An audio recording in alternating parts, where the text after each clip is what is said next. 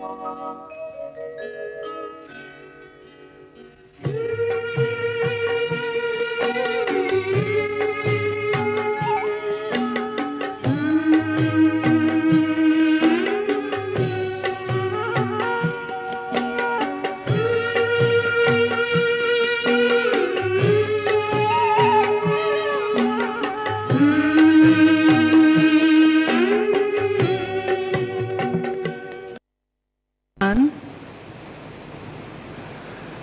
अनुभवी वक्ता और मेरे सम्मुख उपस्थित उतने ही अनुभवी श्रोता। क्योंकि जितने अनुभवी वक्ता हैं तो श्रोता भी कम नहीं है। तो ऐसे इस वर्कशॉप में जो बातें हम सबके सम्मुख रखी गई उन सबको आप सबने बड़े प्रेम पूर्वक और ध्यान पूर्वक सुना है। ऐसा मुझे महसूस हुआ है।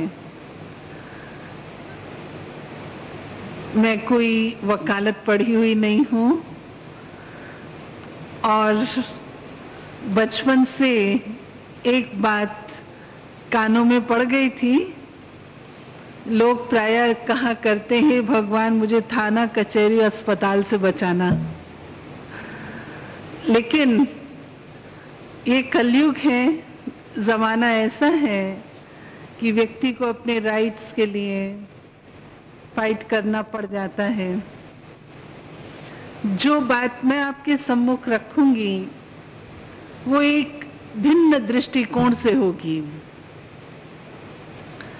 आपका जो सिंबल है जस्टिस का, जो सवेरे भी आपने देखा कि हाथ में बैलेंस है ब्लाइंड फोल्डेड कुछ लोग कहते हैं जस्टिस इज़ ब्लाइंड, यानी न्यूट्रल भाव से न्याय दिया जाता है।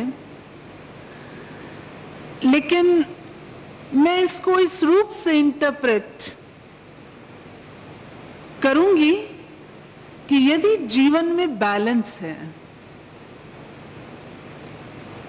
यदि जीवन में बैलेंस है तो आप अगर नज़र बंद करके भी कोई काम करेंगे ना तो वो ठीक ही होगा। बैलेंस अपने आप में कला है। आपने देखा होगा कि टाइट रोप पर जो महिला चलती है बैलेंस करते हुए कितनी पतली सी वो रस्सी होती है और अपने आप को पूर्ण रूप से बैलेंस करती है, ना वो गिरती है, ना वो फेल होती है और अपने लक्ष्य को प्राप्त करती है। इसी रूपेण हमने अपने जीवन में इस बात को देखना है कि क्या हमारे लाइफ में भी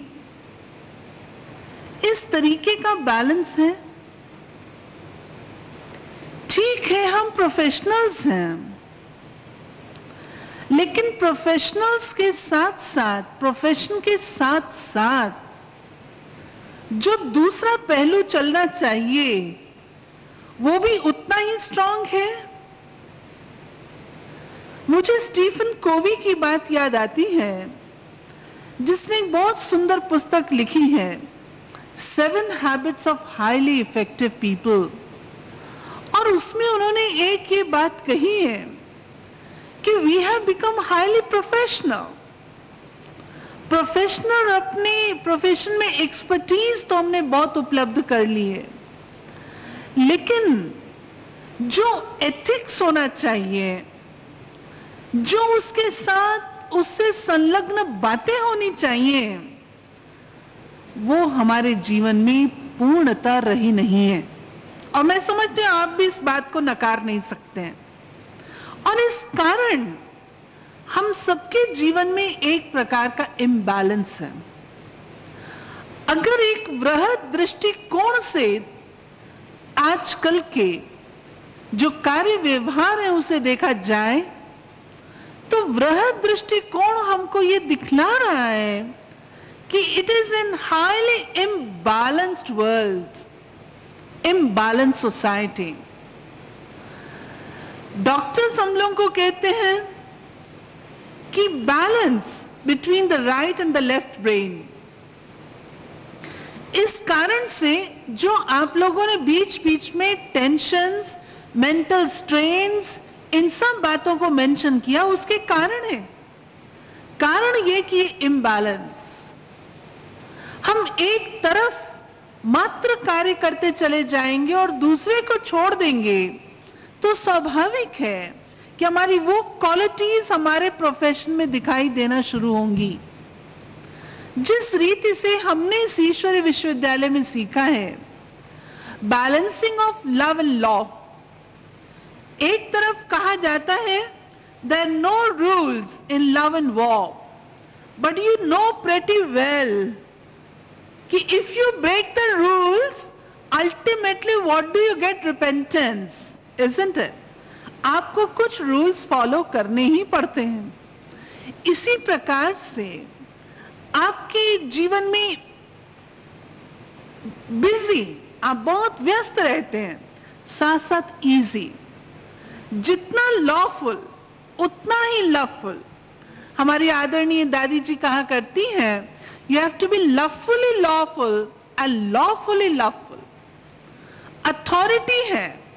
अथॉरिटी के साथ ह्यूमिलिटी ये भी चाहिए। अगर निरी ह्यूमिलिटी है तो भी काम नहीं करेगी, निरी अथॉरिटी है वो भी काम नहीं करेगी। और सच्चाई की बात तो ये है कि हम राइट्स की डिमांड अधिक करते हैं राइट्स की ओर अपना ध्यान हम अधिक देते हैं, जहाँ रिस्पॉन्सिबिलिटी की बात आती है, वहाँ हम ढीले पड़ जाते हैं। मुझे याद है, दिल्ली में अभी एक महीना पहले सरकार ने नियम लागू किया कि यदि सड़क पर कोई भी गार्बेज फेंकेगा, उसको 500 रुपीस का फाइन लगेगा। मुझे बड़ा खेत हुआ जब मैंने ये चीज़ सुनी। आज हमारा देश है, हमारा शहर है, हमारा स्थान है, और हम अपने देश को, अपने स्थान को साफ़ नहीं रख सकते। अपनी रिस्पॉन्सिबिलिटी हमें सिखलाने के लिए भी फाइन देना पड़ रहा है। वॉट अ पिटी तो मैं समझती हूँ, अगर ये कल्चर राइट्स के लिए मुझे डिजर्व करना पड़ेगा। First deserve and then desire isn't it क्या मैं डिजर्व कर रही हूँ? अपनी एंटाइटलमेंट को मुझे उठाना होगा, बढ़ाना होगा। इसलिए कई बार जब ऐसे सेमिनार्स में हम भाग लेते हैं तो प्राय कदा कभी कभी ये बात कही जाती है बहन जी राइट्स की बात अधिक होती है, काश कितना ही अच्छा होता। जैसे नेशनल ह्यूमन राइट्स कमीशन है ना, ऐसे नेशनल रिस्पॉन्सिबिलिटीज का भी कोई कमीशन होना चाहिए। जो लोग कम से कम अपनी रिस्पॉन्सिबिलिटी की ओर ध्यान तो दें, आज अपने आप को फ्रीडम के नाम पर लिबर्टी के नाम पर सारा देश अपना है अपना है तो अपने पन का भाव भी तो नज़र आए ना। वो केवल ये तो नहीं कि मेरा काम इसको खराब करना है और दूसरा जिसकी रिस्पॉन्सिबिलिटी उसे सफ़ाई करनी उसी का काम ये करना है। ये कहाँ का रूल है? एक कॉमन नागरिक होने के नाते इन बातों का जो सेंस, इन बातों का जो कल्चर है, वो जब तक हम अपने जीवन में नहीं लाएँगे, और मैं समझती हूँ, ये मात्र हमें लॉयर्स के लेवल पर नहीं, लेकिन बाल्यकाल से इन बातों को कल्चर में इंट्रोड्यूस किया जाए। और स्पिरिचुअलिटी क्या कहती है? स्पिरिचुअलिटी ये नहीं कहती है कि आप बैठ करके केवल मेडिटेशन करते रहो। I don't believe in that kind of spirituality meditation से आपको ताकत मिलती है। मेडिटेशन से आपको जीवन के प्रति नज़रिया मिलता है। मेडिटेशन से आपके आपसी संबंध अच्छे होते हैं। मान लीजिए मेरे आगे कोई प्रॉब्लम आती है और उस समय बैठ के मेडिटेशन करने लग जाऊँ। प्रॉब्लम का समाधान तो नहीं होने वाला। नहीं meditation is a part of my life मैं मेडिटेशन करूँ, परंतु उससे जो मुझे शक्ति मिलती है तब मैं उस बात का सामना कर सकती हूँ। प्रॉब्लम आ जाए और मैं मेडिटेट करूँ, वो प्रॉब्लम तो मुझे खा जाएगी। जो बल मैंने एकत्र किया है, उस बल से मैंने प्रॉब्लम का सामना करना है। Spirituality is no field for good for nothing people कुछ लोग ऐसी बात भी सोचते हैं कि जिन लोग, जो लोग अपने कार्य में सक्सेसफुल नहीं हैं, जिन लोगों को संसार में और कुछ करने को नहीं है, वे स्पिरिचुअलिटी की राह लेते हैं। I am very sorry to say I beg to disagree वस्तुतः स्पिरिचुअलिटी कुछ लोग यूँ यूँ भी कह देते हैं, बहन जी, जब हम रिटायर हो जाएँगे ना, तब हम आपके पास आ जाएँगे। आपका हमारे पास आने की ज़रूरत नहीं है। स्पिरिचुअलिटी आपको, आपके कर्म जीवन में मदद करती है। मुझे याद है जब मैं कॉलेज पढ़ती थी, इस संस्था से संबंध बाल्यकाल से हुआ। पढ़ाई में अच्छी थी, लायक विद्यार्थी रही हूँ और लायक रूप से मैंने पढ़ाया भी है, अपने प्रोफेशनल जॉब में बहुत अच्छी रही हूँ। जब मैं रिजाइन करने के लिए गई, मेरे प्रोफेसर ने कहा, आशा, तुम क्या कदम ले रही हो? स्पिरिचुअलिटी की राह वो लेते हैं जो बेकार के लोग होते हैं, जिनके पास कुछ करने को और नहीं होता। लेकिन मैं जानती थी स्पिरिचुअलिटी ने ही मुझे लायक बनाया। इसी प्रकार से प्यारे भाई और बहनों स्पिरिचुअलिटी वो चीज़ नहीं है कि आप बैठ करके पूजा पाठ करते रहे, मंत्र जाप I don't believe in that kind of spirituality spirituality वो है जिससे आपकी क्लैरिटी ऑफ़ थिंकिंग बढ़ती है। स्पिरिचुअलिटी वो है जिससे आपका माइंड क्लीन और क्लियर होता है। जिससे आपको अपना गोल स्पष्ट नज़र आता है। स्पिरिचुअलिटी वो है जिससे आपकी डिसीज़न मेकिंग पावर बेटर होती है।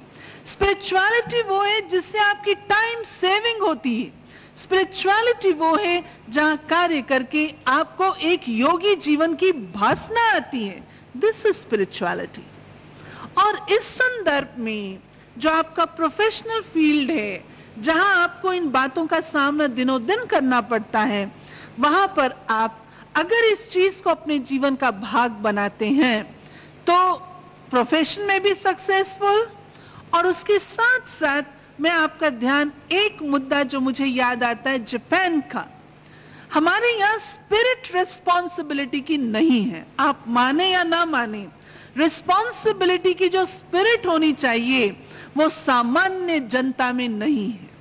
जापान में भी लोग अपने राइट्स को फाइट करने के लिए ऐसा नहीं है कि स्ट्राइक्स नहीं करते, ऐसा नहीं है कि नॉन कोऑपरेटिव नहीं बनते, ऐसा नहीं है कि वो अपने बातों को एक्सप्रेस नहीं करते, सब कुछ करते हैं।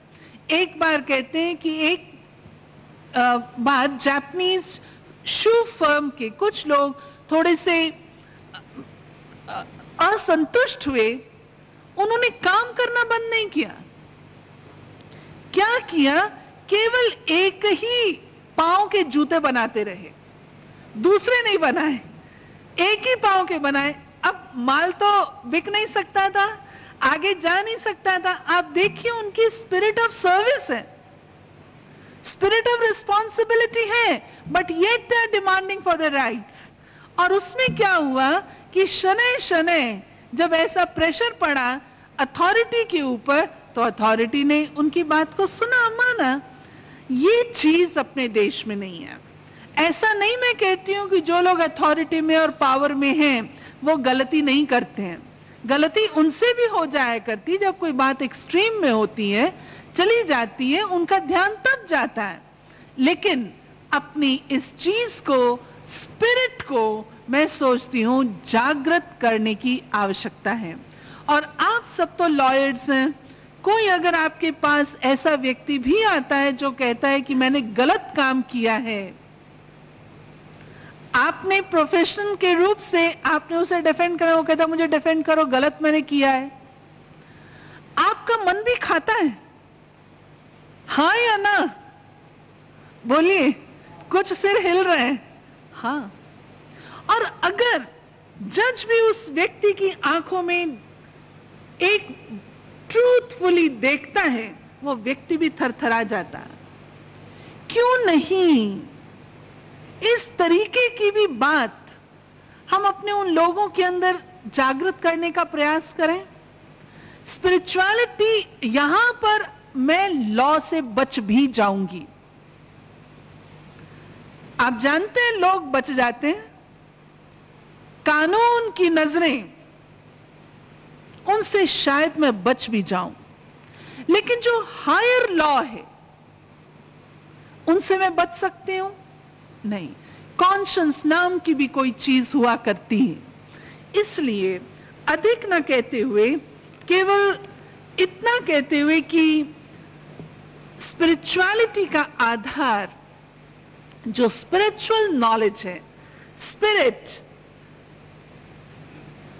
आत्मिक रूप से भाई भाई जो यूनिवर्सल ब्रदरहुड की बात कही गई रिस्पॉन्सिबिलिटी में, भ्रातृत्व भाव, अगर इन चीज़ों को हम लोग थोड़ा थोड़ा भी, देखिए, बूंद बूंद करके तालाब बनता है। ये कार्य, इधर भी मैं कहूँगी कि ये कार्य केवल स्पिरिचुअल लोगों का नहीं है। स्पिरिचुअल लोग भी जाके कोई जंगल में तो लेक्चर नहीं देने वाले वो भी कहा करेंगे? सामान्य पब्लिक में ना तो अगर आप लोगों की ओर से बूंद बूंद बूंद बूंद भर सहयोग होता रहेगा तो वो भी चीज़ अवश्य हम सबके सामने आएगी, जहाँ लोगों के अंदर ये automatically ineluctable law of karma काम करना शुरू करेगा, जहाँ हम अपनी राइट्स और रिस्पॉन्सिबिलिटीज दोनों को बैलेंस में रखते हुए अपने जीवन को हम श्रद्धा पूर्वक शांति पूर्वक और सुख पूर्वक यापन कर सकेंगे। इन शब्दों के साथ यहाँ मैं समाप्त करती हूँ। ओम शांति। जीवन की चुनौतियों का सामना करना इतना मुश्किल क्यों है? क्या आप अक्सर जीवन के प्रति उदासीन हो जाते हैं? आप अपने मन का उसकी पूरी क्षमताओं के साथ प्रयोग करते हैं? सत्तर प्रतिशत से अधिक रोगों का कारण मानसिक तनाव है। तो आइए अच्छे स्वास्थ्य के लिए राजयोग द्वारा अपने मन को स्वस्थ बनाएँ। तनाव मुक्त जीवन का सुख लेने के लिए प्रजापिता ब्रह्मा कुमारी ईश्वरीय विश्वविद्यालय द्वारा सिखाए जाने वाले सहज राजयोग के माध्यम से अपनी मानसिक व आध्यात्मिक शक्तियों को पुनः जागृत कीजिए। किसी भी आयु, धर्म, संस्कृति अथवा राष्ट्रीयता वाले व्यक्ति इसे आसानी से अपना सकते हैं। विविध प्रशिक्षण जैसे स्व प्रशासन एवं नेतृत्व तनाव मुक्त जीवन, सकारात्मक चिंतन आदि Brahma Kumari academy for a better world mount Abu में आयोजित किए जाते हैं। अधिक जानकारी हेतु तो हमारी website B K W S U dot com पर जाएँ अथवा अपने स्थानीय सेवा केंद्र से संपर्क करें। हमको हमारे बाबा से प्यारा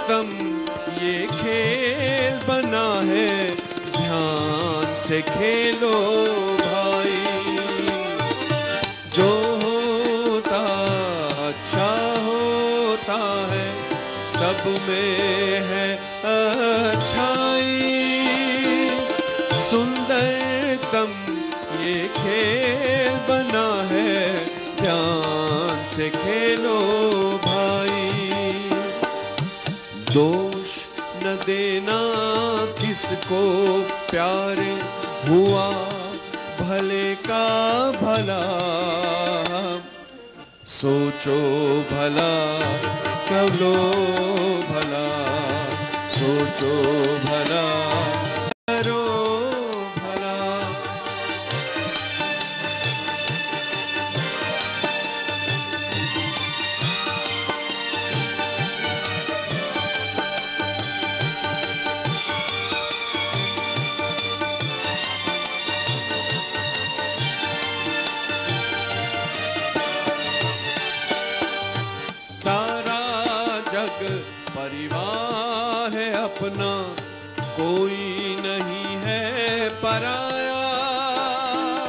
जैसी नज़र से देखा हमने, वैसा इसको पाया। सारा जग परिवार है अपना, कोई नहीं है पराया। जैसी नज़र से देखा हमने, वैसा इसको पाया। मंथन करके मन का अमृत है निकला। सोचो भला करो भला। सोचो भला करो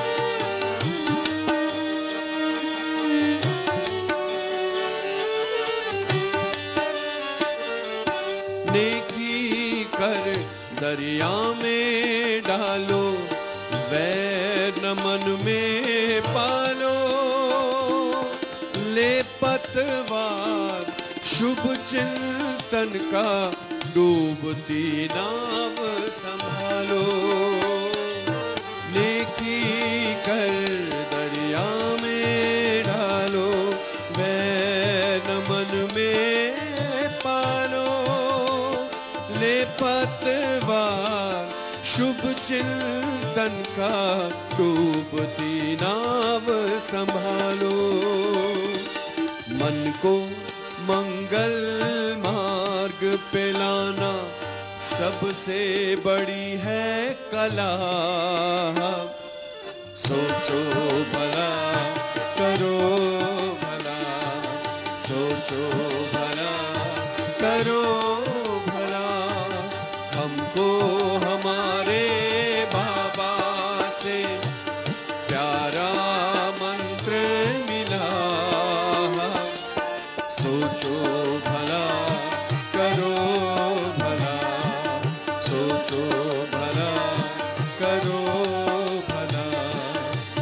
सोचो भला करो भला। कर्म करो ऐसे भाई तुम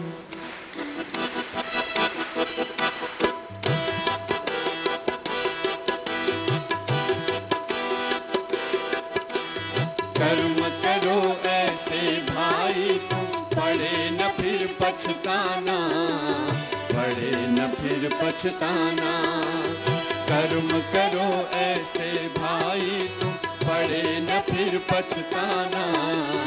पड़े न फिर पछताना, क्योंकि एक दिन तो धर्मराज को पड़ेगा मुख दिखलाना। पड़ेगा मुख दिखलाना। कर्म करो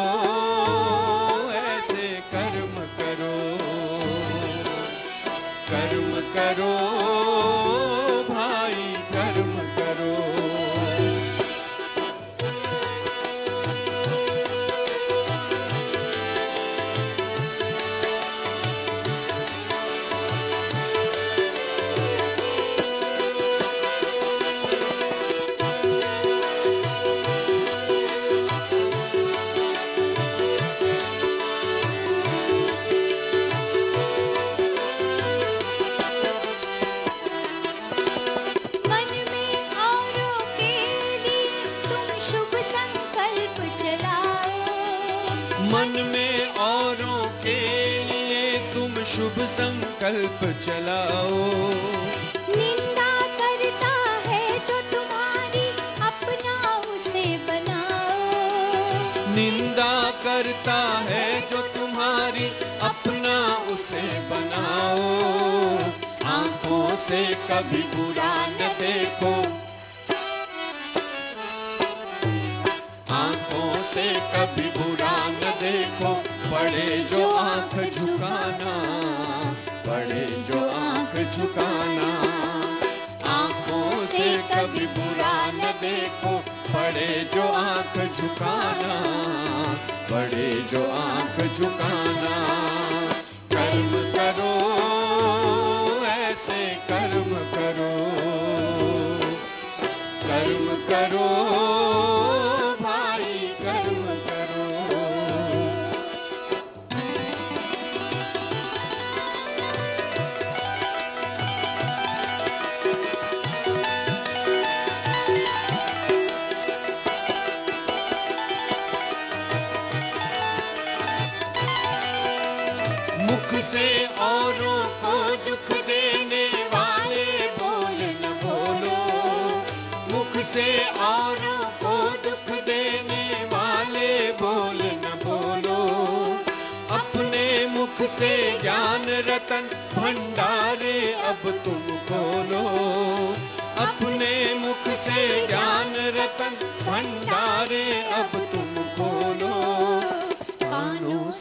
कभी सुनो न ऐसा। कानों से कभी सुनो न ऐसा। पड़े जो कान कटाना पड़े जो कान कटाना।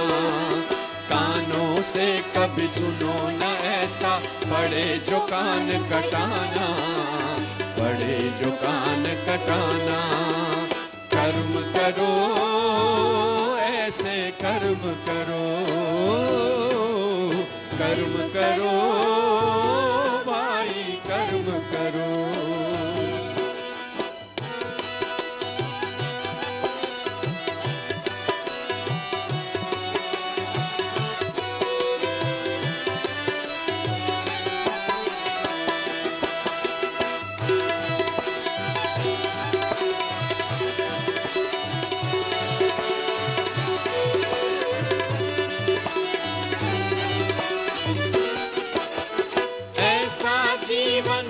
जो हँसते हँसते घर को जाओ।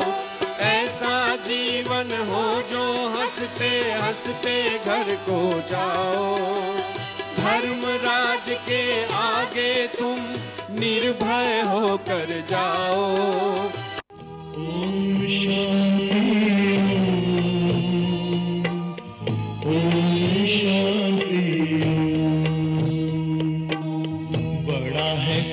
कर ये मंत्र मन है ओम शांति।